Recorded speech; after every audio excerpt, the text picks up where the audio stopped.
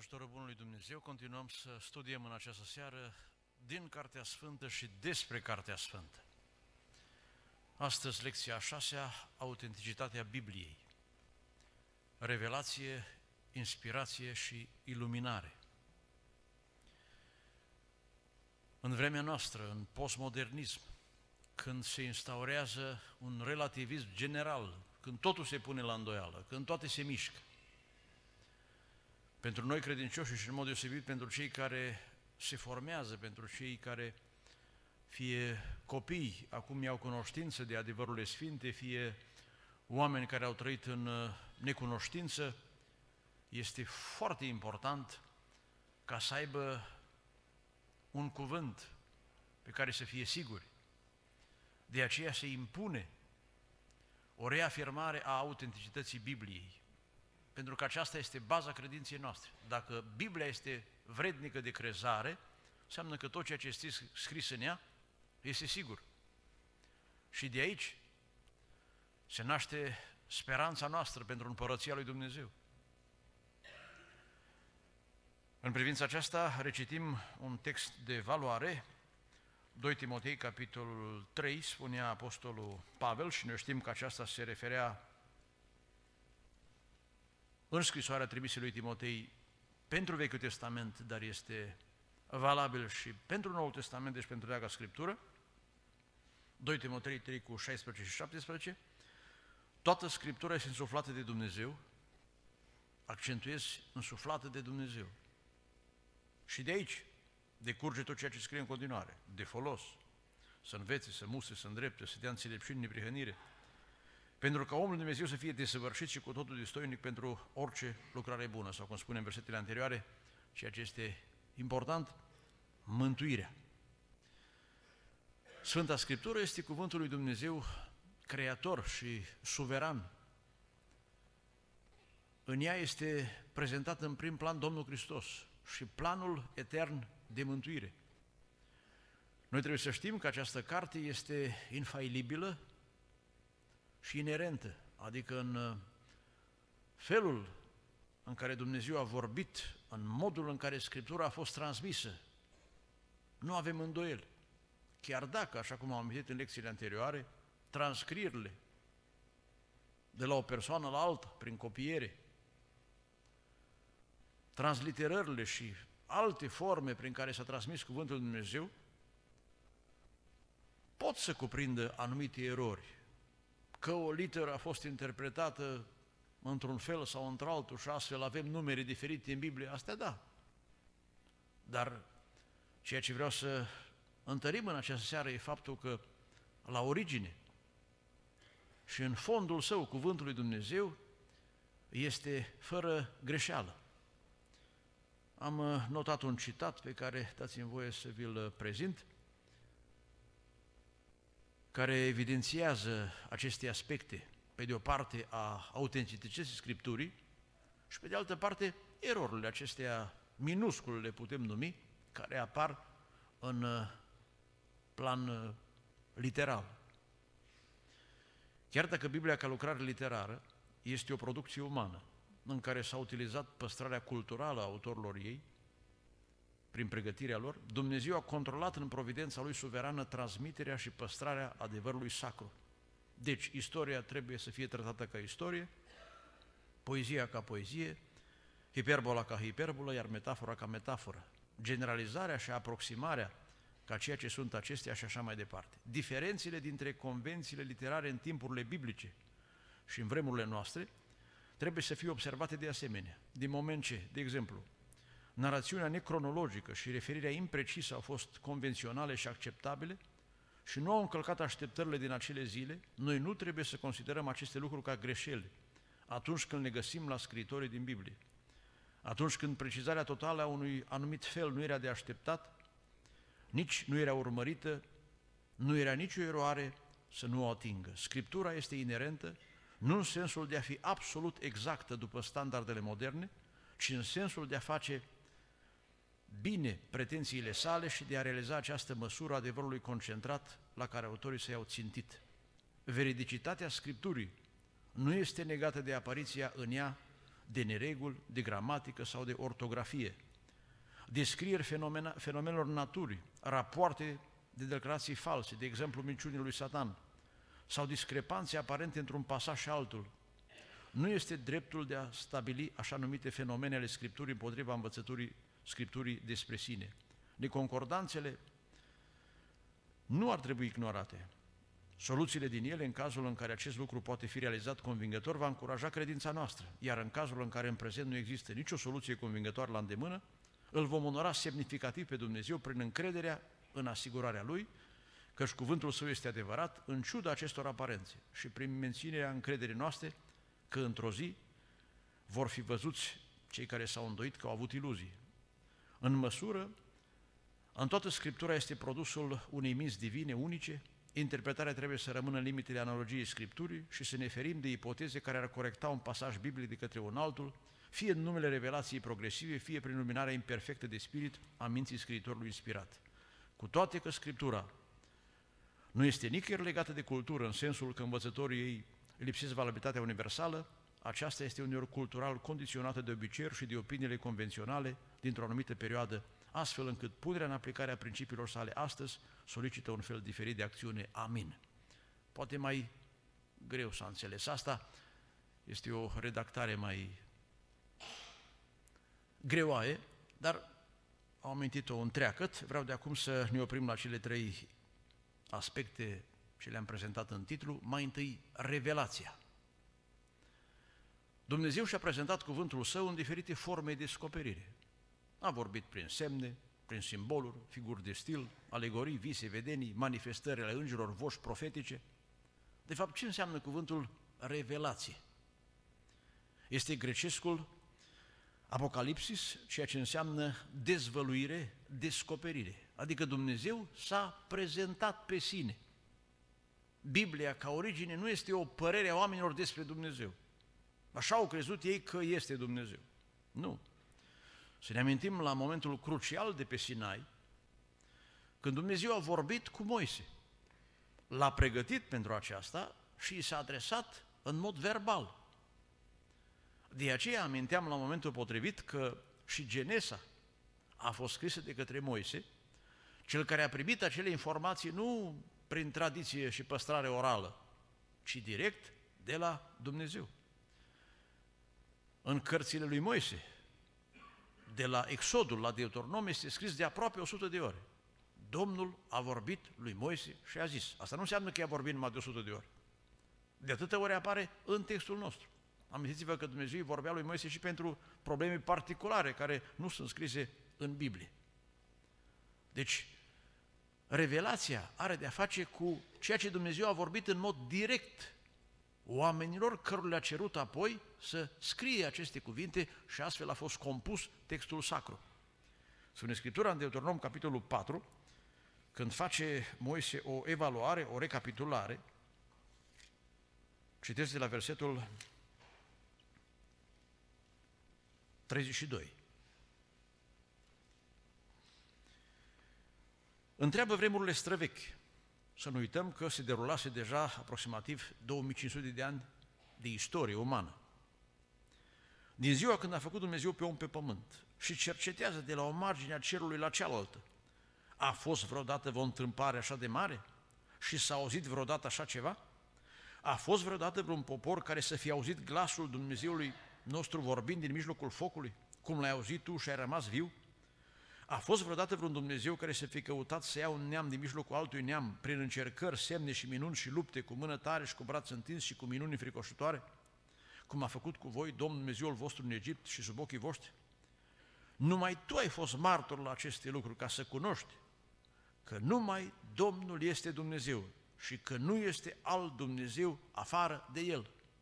Din cer te-a făcut să auzi glasul Lui, ca să te învețe și pe pământ te-a făcut să vezi focul Lui cel mare și ai auzit cuvintele Lui din mijlocul focului. Așadar, cuvintele rostite de Dumnezeu, imaginea aceea de pe Sinai și nu numai, toate evenimentele miraculoase, supranaturale, de care au avut parte evrei, în mod special generația lui Moise și acest bărbat ales de Dumnezeu, sunt dovada că Scriptura este în mod efectiv ceea ce a fost atestat istoric ca și o descoperire, o adresare directă a lui Dumnezeu despre sine înaintea oamenilor. Revelația cuprinde voia lui Dumnezeu și exprimarea caracterului său. Dumnezeu este perfect, este omnipotent, omniprezent, omniștient și așa mai departe. Este limita a tot ceea ce am putea noi gândi, ba mai mult, este dimensiunea infinitului pe care noi nu putem să-l cuprindem. Și toate acestea au fost prin Moise, prin care a fost uh, redat textul referitor la creație și ceea ce s-a întâmplat în mod deosebit cu ocazia eliberării evreilor din Egipt și a dării legii. Tot descoperire divină a fost și pentru Avram. Amintiți-vă că în Cartea Genezei este scris că Dumnezeu i-a vorbit. Dar acolo avem un fragment doar din această lucrare a lui Dumnezeu. Dumnezeu a avut de-a lungul vremii oameni cărora le s-a adresat personal și aceste mesaje divine rostite de însuși Dumnezeu sunt de cea mai mare valoare în Scriptură. Să ne amintim ceea ce spunea Ștefan în predica sa, citim din fapte capitolul 7,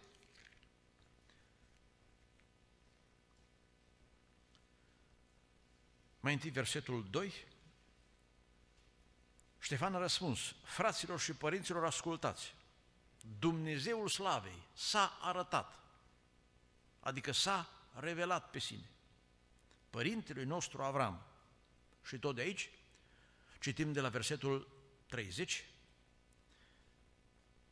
unde vorbește despre vremea lui Moise, i s-a arătat un înger în pustia muntelui Sinai, în para focului Nurug. Moise, când a văzut, s-a mirat de arătarea aceasta și pe când se apropia să vadă ce este, a auzit glasul Domnului care i-a zis, Eu sunt Dumnezeu părinților tăi, ca să facă relația cu descoperirea dată lui Avram. Dumnezeul lui Avram, Dumnezeul lui Isaac și Dumnezeul lui Iacov. Și Moise, tremurând, n-a îndrăznit să se uite. Așadar, Scriptura nu s-a născut la vreo masă, în timp ce a scris-o cineva, ci s-a născut în prezența lui Dumnezeu, în timp ce oamenii l-au auzit direct vorbind numele Domnului să fie slăvit. În Noul Testament, revelația este la cota cea mai înaltă. Aceasta pentru că legea a fost dată prin îngeri, spune Scriptura. Ei au fost intermediari între Dumnezeu care a vorbit și Moise. Dar în Noul Testament revelația culminează cu persoana și lucrarea Domnului Iisus Hristos. Un Dumnezeu întrupat tocmai pentru ca revelația să fie de o calitate absolută. De aceea vorbim despre infailibilitatea Bibliei. Nu pentru că nu sunt uh, erori de scriere, ci pentru că este un cuvânt al lui Dumnezeu, cel care a vorbit, care ni s-a adresat din dragoste, care este adevăr în tot ceea ce El a transmis.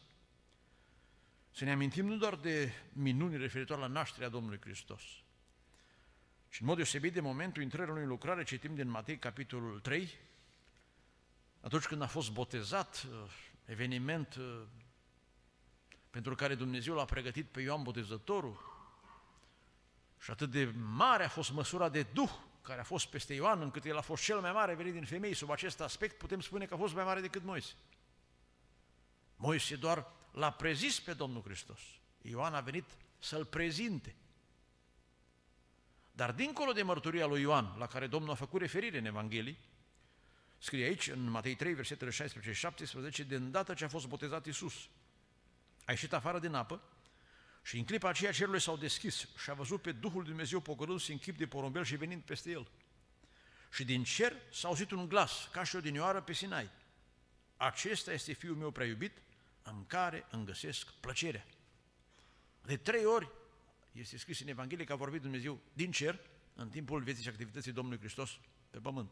Aici, la botez, cu ocarea ziua inaugurării lucrării sale, pe muntele schimbării la față, ca să ateste divinitatea sa pentru cei trei ucenici și Altă dată, spune Scriptura în Ioan, pentru oamenii care au fost acolo, citesc din Ioan capitolul 12, uh, versetul 30, când Domnul a zis, nu pentru mine s-a auzit glasul acesta, ci pentru voi, ca să fie o asigurare, să fie ceva foarte temeinic. În Evanghelia după Ioan, care este mai teologică, Domnul spunea, citesc Ioan 10, versetele 37 și 38,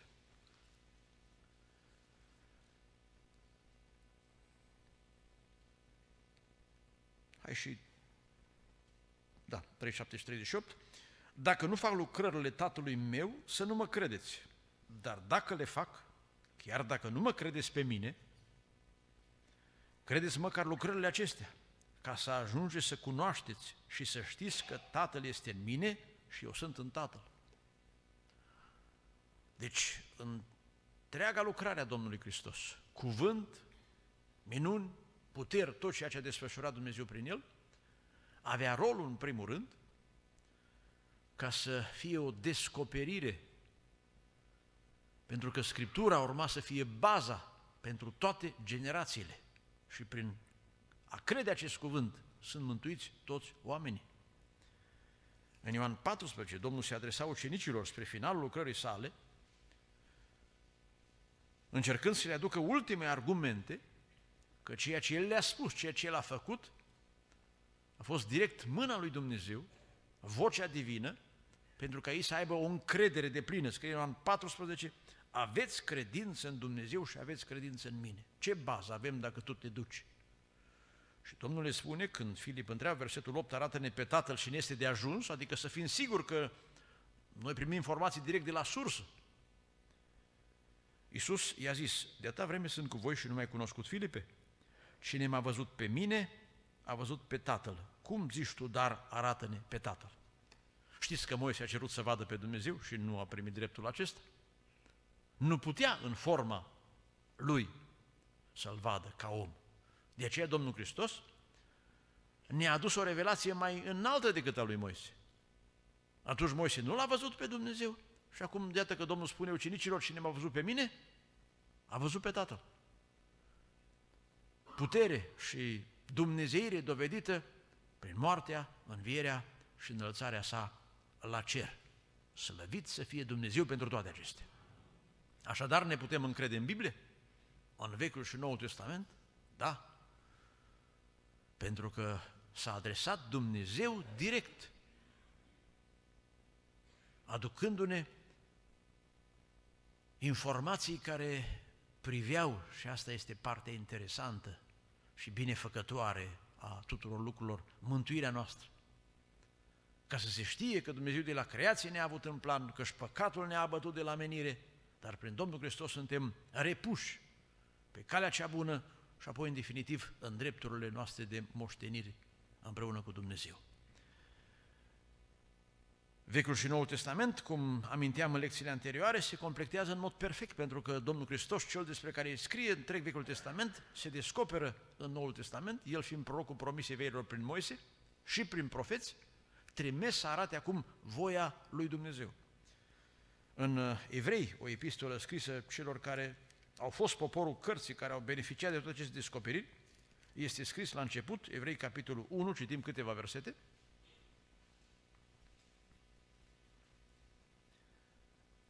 După ce a vorbit în vechime părinților noștri prin proroci, în multe rânduri și în multe chipuri, Dumnezeu, la sfârșitul acestor zile ne-a vorbit prin Fiul, pe care l-a pus moștenitura tuturor lucrurilor și prin care a făcut și viacurile. Și în ce privește descoperirea, e supremă, El, care este oglindirea slavei Lui și întipărirea ființei Lui și care ține toate lucrurile cu cuvântul puterii Lui, a făcut curățirea păcatelor și a așezut la dreapta măririi în locurile prea înalte. Așadar, Dumnezeu ni s-a prezentat în modul cel mai apropiat să-L cunoaștem și dacă vrem, cum spunea Domnul Hristos de atâtea ori, să-L urmăm, să-L ascultăm. Asta spunea Moise, Deuteronom 18. Dumnezeu va ridica în mijlocul fraților voștri un proroc ca mine, de el să ascultați. Iată că Moise, acest mare bărbat, Ioan Botezătorul și la rândul lui, toți îndreptau spre Domnul Hristos. De aceea revelația care ne-a venit prin Domnul Hristos este perfectă, e absolută și nu mai are nevoie de adăugiri. Iată de ce nu putem fi de acord cu nicio carte ce aduce completări după Domnul Hristos. De aceea nu sunt de acord, de exemplu, cu cei cu uh, teoria a un numai Isus, cei cu botezul a doua oră, cum sunt cunoscuți mai simplu în popor, sau mormonii, sau alții, sau martorii, sau adventiștii, care vin cu adăugiri, spunând unii că William Branham a fost Ilie, că Ellen White a fost mesajul acela înserat acolo în Apocalipsa cu lucruri care mai trebuiau descoperite. Nu. Prin Domnul Hristos revelația s-a întregit și Scriptura se încheie cu cuvinte cine mă adaugă e sub o sândă, cine scoate de asemenea. Deci, în primul rând, când ne gândim la Biblie, avem în vedere revelația, descoperirea directă a lui Dumnezeu în fața oamenilor. În al doilea rând, inspirația Bibliei. Am putea spune că este o, o revelație de rangul 2. Profeții au fost oameni inspirați. Ei nu pot fi puși alături de Moise, după cum nici apostolii nu pot să fie puși alături de Domnul Hristos. Dar și în cazul inspirației profesilor, oameni insuflați de Dumnezeu, care au avut parte de o influență supranaturală a Duhului Dumnezeu asupra minților. Ceea ce ei au spus este tot adevărul lui Dumnezeu. Asta pentru că este în totală concordanță cu ceea ce a spus Moise și respectiv Domnul Hristos și pentru că ceea ce i-a însoțit pe acești profeți sau pe apostoli, miracolele, de exemplu, au fost și ele o dovadă că tot Dumnezeu a vorbit, la care se adaugă și alte motive temenice, viața lor sfântă și urmărirea acelui fir al planului Dumnezeu al profețiilor a mântuirii. Profeții sau apostolii niciun nu au avut un scop aparte. Vreo altă cauză a lucrărilor. Toți au fost încadrați în același fir binecuvântat al lucrării mesianice. Iată câteva citate biblice despre inspirația scritorilor Vechiului Testament. Cartea Iov, capitolul 32, versetul 8,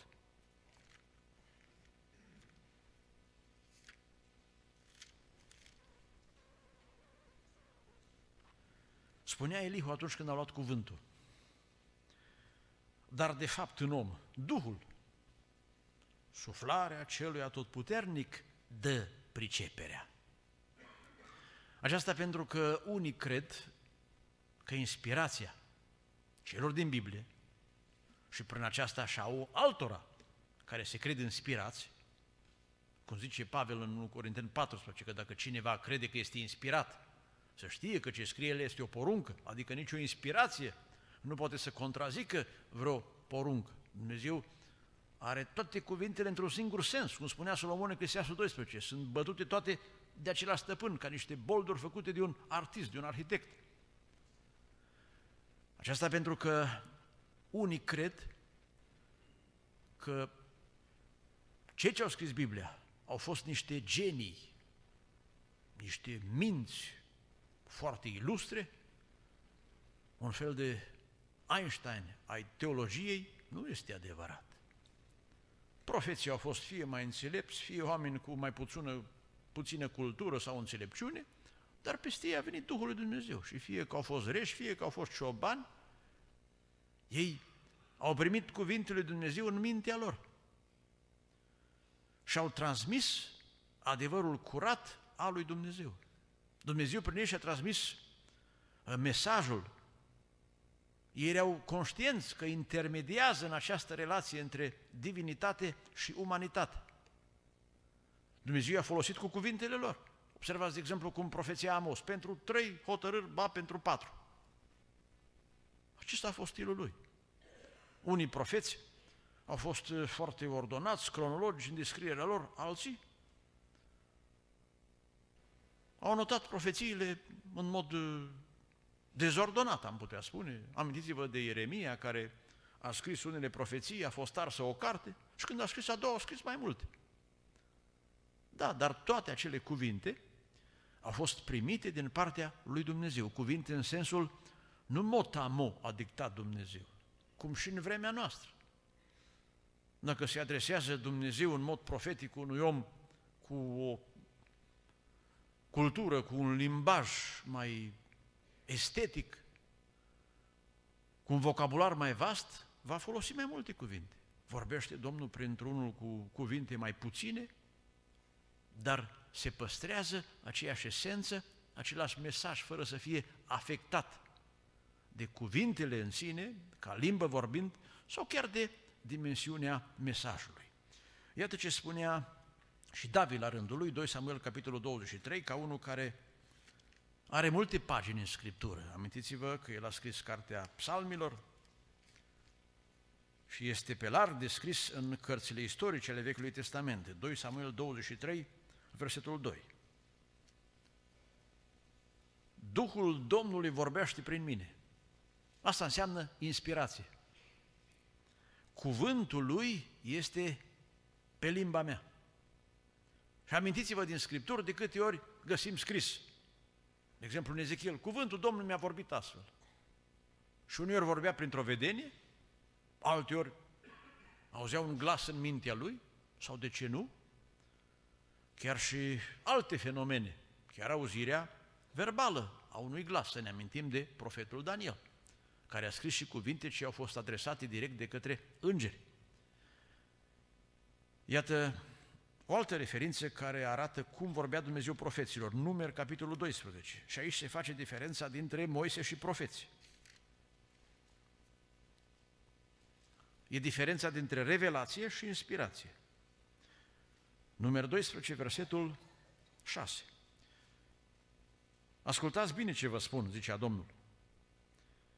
Când va fi pentru voi un proroc, eu, Domnul, mă voi descoperi lui într-o vedenie sau îi voi vorbi într-un vis. Nu tot așa este însă cu robul meu Moise. Lui vorbea față în față și altul ca Moise nu s-a mai ridicat, dar totuși Dumnezeu a vorbit apoi prorocilor și le-a spus să scrie. Sunt multe referințe în Isaia, în Ieremia, în Habacuc, Dumnezeu le cerea să scrie. De altfel, cărțile Bibliei au fost scrise de proroci. Petru la rândul lui vorbea, citim din uh, întâia sa epistolă, capitolul 1,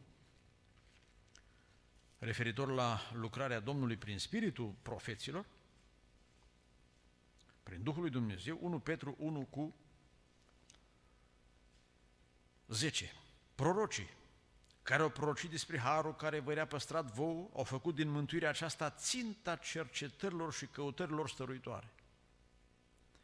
Ei cercetau să vadă ce vreme și ce împrejurări avea în vedere Duhul lui Hristos care era în ei. Când vestea mai dinainte patimile lui Hristos și slava de care aveau să fie urmate. Lor le-a fost descoperit că nu pentru ei înșiși, ci pentru voi spuneau ei aceste lucruri pe care vi le-au vestit acum cei ce v-au provenit de Evanghelia prin Duhul Sfânt trimis din cer și în care chiar îngerii doresc să prevească. Deci iată că mesajele adresate profeților arată că Scriptura este de o calitate mai mare ca și cum ar fi dictat-o vreun înger. Le-a vorbit Duhul lui Dumnezeu și aceasta este foarte, foarte important. Din Scripturile Vechiului Testament Singurele lucruri care poartă amprenta mâinii lui Dumnezeu sunt cele 10 porunci și schițele de la templu. Hai, v-aș lansa o temă pentru acasă, unde scrie că Dumnezeu a dat lui David întreg proiectul de la templu. Scrie acolo că Dumnezeu a dat inclusiv chipurile la toate obiectele, toate mărunțișurile. L-a interesat pe Dumnezeu cum să fie furculițele și cuțitele și toate ceștile de acolo? Da. Ori dacă Dumnezeu a fost atât de interesant de acele amănunte, obiecte de la templu care au avut un mandat mult mai limitat, o vreme mai scurtă de întrebuințare decât întreaga Biblie, atunci cât de interesat a fost Dumnezeu ca pe lângă revelații, prin Moise și prin Domnul Hristos, să se adreseze prin proroci și noi să avem încredere în ceea ce Dumnezeu a vorbit. Amintiți-vă de vremea lui Ieremia. Dumnezeu îl pusese deoparte încă din pântecele mamei lui, încă înainte de a se naște. Și l-a trimis să vorbească pentru evrei, pentru neamuri. S-au ridicat și alți profeți, care profețeau altceva. Ieremia la un moment dat îi spune unuia, amin, să fie cum zici tu. Că despre spus el lui Ieremia și-au dovedit autenticitatea în vremea lui, în vremea generației următoare și peste generații. Așa că nimeni nu se poate îndoi. Dumnezeu a vorbit prin Daniel pentru cei din vremea sa și din nou pentru imperiile care aveau să succeadă în istorie. Pentru ca noi să avem de plină încredere. De aceea spune Petru în a doua sa epistolă, capitolul 1, versetul 16. În adevăr, v-am făcut cunoscut puterea și venirea Domnului nostru Iisus Hristos și deja cu aceasta am trecut la a uni inspirația Vechiului Testament prin profeți cu inspirația apostolilor. Nu întemeindu-ne pe niște basme meșteșugit alcătuite, ci ca unii care am văzut noi înșine cu ochii noștri mărirea Lui. Căci El a primit de la Dumnezeu Tatăl cinste și slavă atunci când în slava minunată s-a auzit deasupra Lui un glas care zicea acesta este Fiul meu preiubit în care îmi găsesc plăcerea. Vedeți că Petru în argumentare vorbește despre mai întâi autenticitatea Scripturii prin revelație și apoi continuă. Și noi înșine am auzit acest glas venind din cer atunci când eram cu el pe muntele cel sfânt. Și avem cuvântul prorociei, adică felul în care s-au împlinit toate cele spuse în Vechiul Testament, prin Moise și prin profeți la care bine faceți că luați aminte, ca la o lumină care strălucește într-un loc întunecos, până se va crăpa de ziua și va răsări luceafărul de dimineață în inimile voastre. Fiindcă mai întâi toate să știți că nicio prorocie din Scriptură nu se tâlcuiește singur. Căci nicio prorocie n-a fost adusă prin voia omului. Iată ce este inspirația. Nu voia oamenilor, ci oamenii au vorbit de la Dumnezeu mânați de Duhul Sfânt. N-a fost o transcriere mecanică, ei n-au căzut în transă, n-au fost ei niște genii, și au fost profeți în adevăratul înțeles al cuvântului, oameni căror minte a fost inundată de Duhul Sfânt, au fost împinși să rostească acele cuvinte și toate s-au dovedit apoi ca un lanț binecuvântat în care Dumnezeu a vrut să cuprindă și ființele noastre să le mântuiască, slăvit să fie Domnul. Ioan la rândul lui, asociatul foarte apropiat al lui Petru, scria în epistola sa, tot referitor la baza celor scrise și propovăduite. 1 Ioan, capitolul 1, citim de la versetul 1. Ce era de la început, ce am auzit, ce am văzut cu ochii noștri, ce am privit și ce am pipăit cu mâinile noastre, cu privire la cuvântul vieții, pentru că viața a fost arătată și noi am văzut-o și mărturisim despre ea și vestim viața veșnică, viață care era la Tatăl și care ne-a fost arătată. Deci, ce am văzut și am auzit, aceea vă vestim și vouă, ca și voi să aveți părtășie cu noi și părtășia noastră este cu Tatăl și cu Fiul Său, Isus Hristos. Și în finalul Evangheliei sale vorbește despre autenticitatea celor scrise ca unul care le-a văzut. Luca, la rândul lui, n-a fost un martor de prim rang, ci a fost un asociat acestor prim martori, dar ce a scris, a scris după cercetări amănunțite. Și iată că cele scrise de el sunt în concordanță cu ceilalți scriitori, de aceea cartea a fost, mă refer la Luca și faptele apostolilor apoi, încorporată fără rezerve în uh, canonul Noului Testament. Prin Duhul Sfânt, apostolii au devenit cei prin care Dumnezeu a descoperit până la final în Apocalipsă. Ioan a fost ultimul folosit, parcă pregătit o viață, ca în final poate la 90 de ani, poate mai mult, să primească acele ultimele descoperiri prin Duhul. Apocalipsa dă Scripturii o notă ultimă de autenticitate. Și prin ceea ce conține, explică între trecutul și deschide fereastra, ba chiar mai mult, am putea spune ușa, spre un viitor etern pentru ca noi să avem o credință de plină și o nădejde binecuvântată pentru toată viața. Amin? Din acest punct de vedere, putem spune că inspirația completează și expune, în sensul de a lărgi revelația și conferă Bibliei infailibilitate și credibilitate. În știință sunt multe lucruri care se pot demonstra în laborator și oamenii le cred. Sunt factori de natură empirică ce explică acele fenomene. În ce privește Scriptura, noi trebuie să credem, dar credința noastră nu este cum spuneau comuniștii, crede și nu cerceta, din potrivă. Noi credem pentru că toate cele generații și apoi celelalte în păstrarea acestor cărți sacre au avut ce să creadă și în cine să se încreadă. Avem siguranță de plină în Dumnezeu, spunea Apostolul Pavel, ca unul care a fost dat harul să completeze Scriptura Sfântă, Galaten, capitolul 1,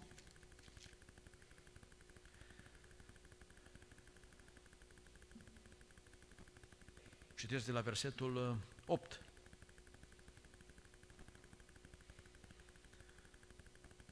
Chiar dacă noi înșine sau un înger din cer ar veni să provedească o Evanghelie deosebită de aceea pe care v-am propovăduit-o noi, să fie anatema, adică să fie lepădat.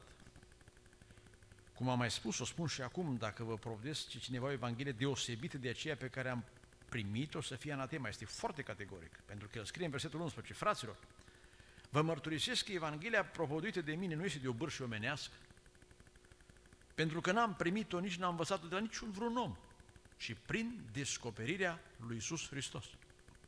De aceea când scrie despre cina Domnului zicea că ce am primit de la Domnul ce v-am învățat. Vreau să faceți deosebirea dintre ce înseamnă a studia și a avea o minte luminată și respectiv a se descoperi Dumnezeu, a inspira pe cineva. Pavel a avut o minte de excepție. Și cu toate că își cunoștea Vechiul Testament, n-a putut să priceapă înțelegerea lui corectă.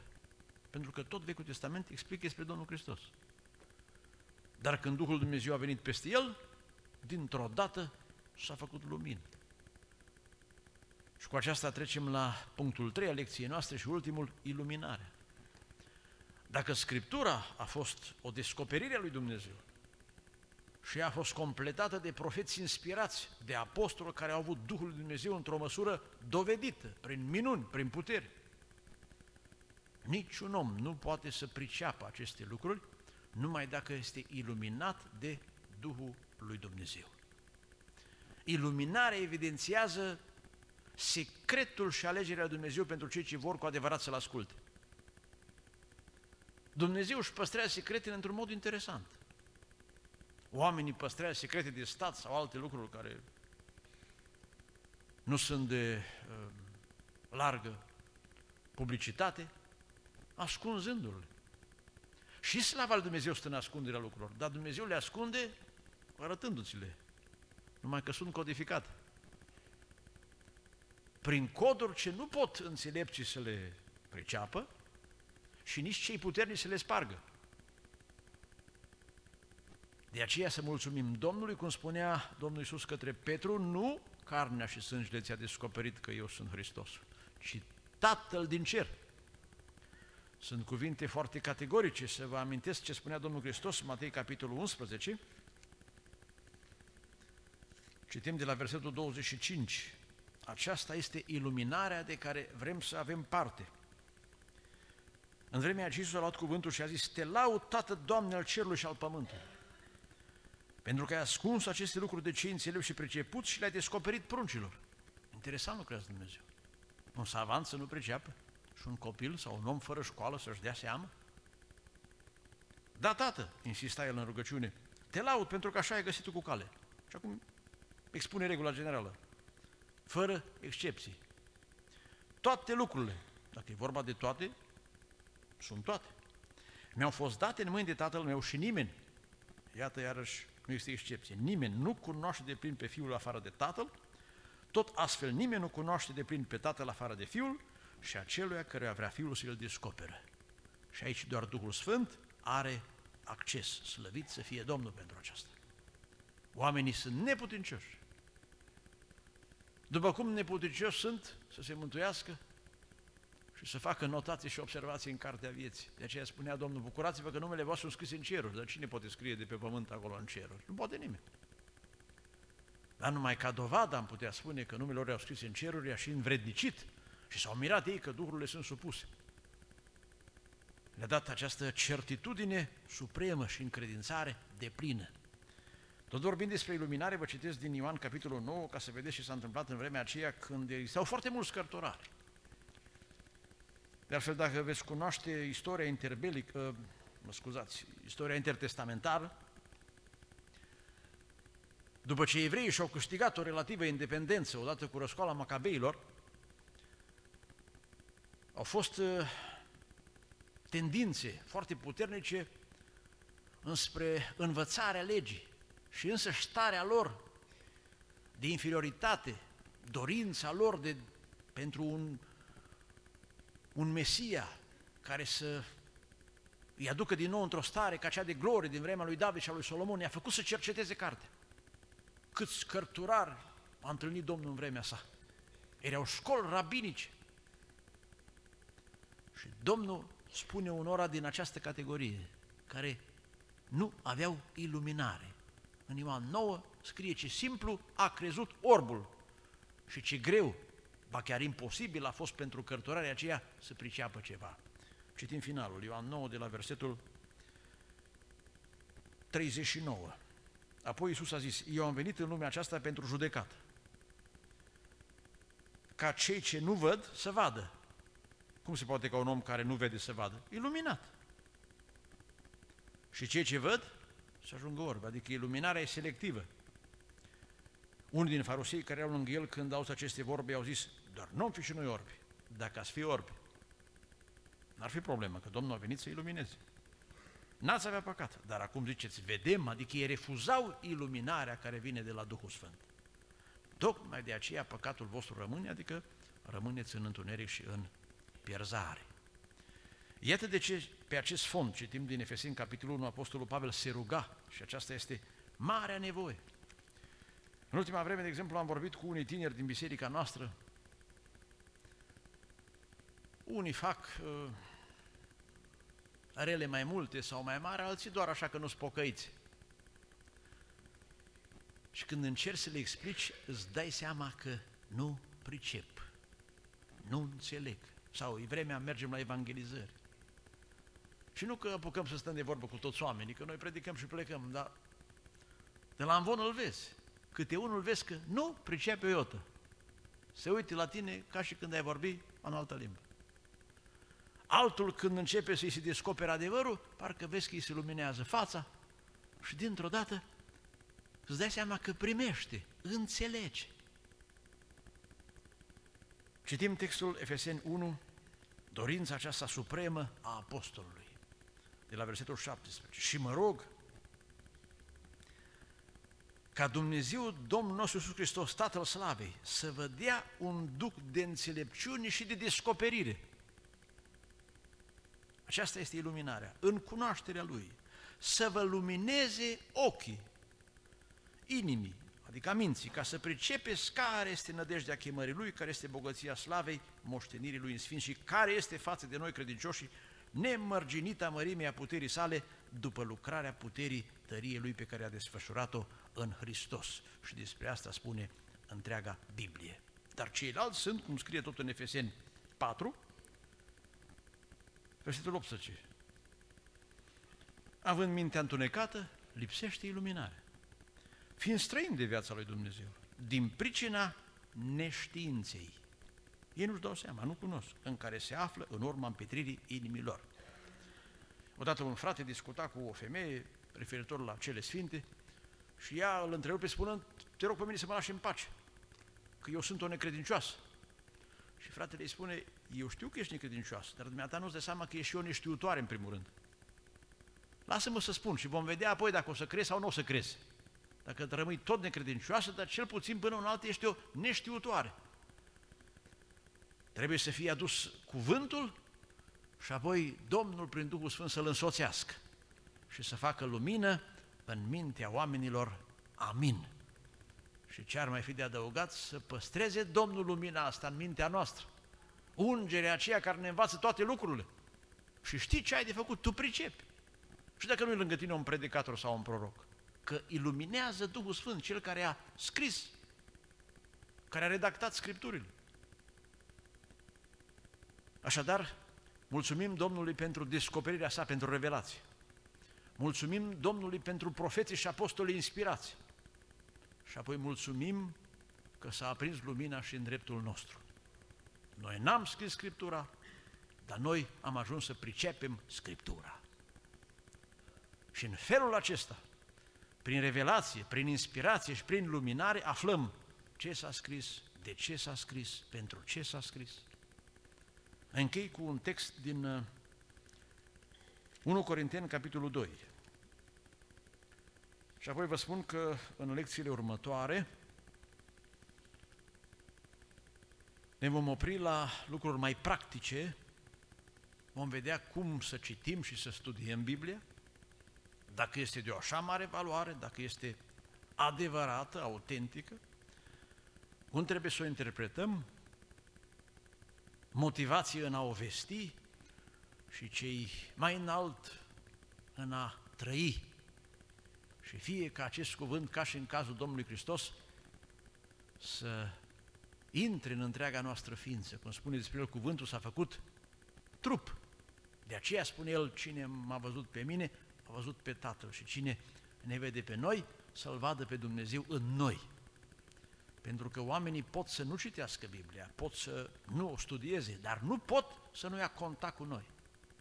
Și cuvintele care le vom spune, care le vom transmite, și asta e foarte important, trebuie să aibă ecou în mintea oamenilor. Dar, iată, ca într-o concluzie, ceea ce am spus în această seară, 1 Corinteni, capitolul 2, prin aceasta își justifică Apostolul Pavel metodele de lucru în Corint și explică felul în care Dumnezeu luminează oamenii.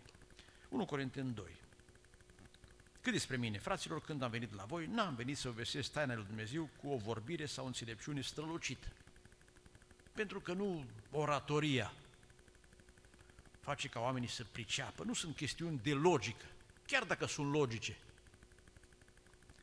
Versetul 4. Și învățătura și propovăduirea mea nu stăteau în vorbirile înduplecătoare ale înțelepciunii, ca să convingi pe cineva sau să-l seduci chiar, ci într-o dovadă dată de Duhul și de putere. Și explică mai târziu ce înseamnă asta. Dar iată motivul, versetul 5, pentru ca credința voastră să fie întemeiată nu pe înțelepciunea oamenilor, și care e mai abil în vorbire, acela să inducă pe oameni într-o anumită direcție, ci pe puterea lui Dumnezeu. Totuși, ceea ce provodim noi, printre cei desăvârșiți este o înțelepciune, mare înțelepciune. Dar nu a veacului acestuia, nici a fruntașilor veacului acestuia care vor fi nimiciți. Noi propovăduim înțelepciunea lui Dumnezeu cea tainică și ținută ascunsă pe care o rânduise Dumnezeu spre slava noastră mai înainte de veci. Și ar fi suficient să fac o simplă precizare. Oamenii nu știu cum a apărut pământul și își fac planuri lipsite de realitate, vom vedea în viitor, cu privire la evoluția lui în viitor.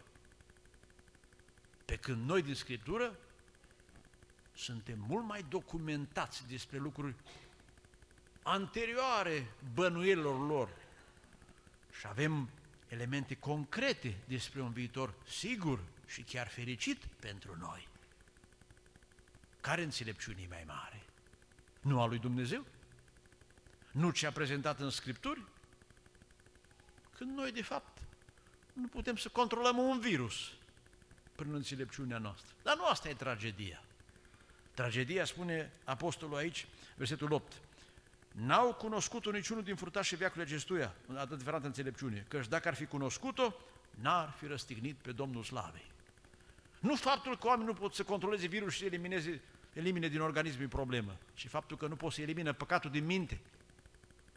Asta este marea tragedie, că nu cunosc rețeta de a scăpa de moarte filiera prin care omul poate să evadeze din această cursă demonică a păcatului. Dar după cum este scris, lucruri pe care ochiul nu le-a văzut, urechea nu le-a auzit și la inima omului nu s-au suit, adică sunt peste perceperea și imaginația umană. Așa sunt lucrurile pe care le-a pregătit Dumnezeu pentru cei ce îl iubesc. Și acum explică iluminarea în urma revelației și inspirației Scripturilor. Nouă însă Dumnezeu ni le-a descoperit prin Duhul Său. Căci Duhul cercetează totul, chiar și lucrurile adânci ale lui Dumnezeu. În adevăr, cine dintre oameni cunoaște nimeni? Tot așa, nimeni nu cunoaște lucrul lui Dumnezeu afară de Duhul lui Dumnezeu. Și noi? Mă să fie valabil asta și pentru noi, să nu citim și noi și când acolo să fie vorba de alții numai. Și noi n-am primit Duhul lumii, ci Duhul care vine de la Dumnezeu, ca să putem cunoaște lucrurile pe care ne le-a dat Dumnezeu prin harul Său. Și vorbim despre ele, nu cum vorbiri învățate de la înțelepciunea omenească, ci cu vorbiri învățate de la Duhul Sfânt. Eu sunt abordat uneori pe diferite teme legate de viața de familie sau alte aspecte. Pentru că oamenii sunt confuzi. Nu doar că ei nu pricep. Problema mai gravă stă în faptul că unii care învață nu pricep și induc pe alții în eroare. Pentru că dacă nu-i Duhul lui Dumnezeu, tot ceea ce ar putea debita mintea noastră nu este decât minciună. Scrie în continuare foarte clar. Omul firesc nu primește lucrurile Duhului lui Dumnezeu. Eu v-am mai spus cândva o experiență, vă repet pe scurt. Într-o seară s-au întâlnit frați și surori, mai noi în credință, cu ani de pocăință, și s-au despărțit cu opinii contrare. Și cineva nu de mult la credință a zis, cum se poate? Unii se priceapă într-un fel și alții într-alt fel, sau să nu priceapă. Și a visat noaptea când un sol din partea Domnului a spus, citește 1 Corinteni 2 cu 14. Citim și noi. Omul firesc nu primește lucrurile Duhului Dumnezeu, căci pentru el sunt o nebunie și nici nu le poate înțelege, deci degeaba explici. Nu că nu vrea sărmanul, eu nu vrea, dar în altă parte e așezat. Nu poate înțelege, pentru că trebuie judecate duhovnicești. Omul duhovnicesc, din potrivă, poate să judece totul. Și el însuși nu poate fi judecat de nimeni. Adică în felul în care pune în practică acele adevăruri, nu-i de judecat nici acum, nici la judecata de apoi. Căci cine a cunoscut gândul Domnului ca să-i poată da învățătură? Noi însă avem gândul lui Hristos. Adică Dumnezeu n-a spus totul în Scriptură și a păstrat o rezervă, un secret. Însă nouă când ne descoperă Scriptura, ne descoperă adevărul întreg. Și acea persoană, când s-a trezit, și-a zis, Doamne, dar e și 2 Corinteni 2 cu 14 și nu mi s-a spus eu să citesc din 1 Corinteni sau din 2, hai să citesc și din 2. Eu cred că ne-a zis, nu, nu i s-a spus, pentru că și 2 Corinteni 2 cu 14 era aceeași notă. Și să fie asta gândul de încheiere. Chiar dacă am spus că nu mai adaug un alt text, e doar uh, exemplul acesta îl cuprinde. Mulțumiri fie aduse lui Dumnezeu, care ne poartă totdeauna au carul lui de biruință în Hristos, pe ce bază? Și care răspândește în noi, în orice loc, mireasma cunoștinței Lui. Frumoasă exprimare, mireasma cunoștinței Lui. O cunoaștere care este ceva plăcut, pentru că aduce mântuire. Slăvit să fie Domnul. Amin.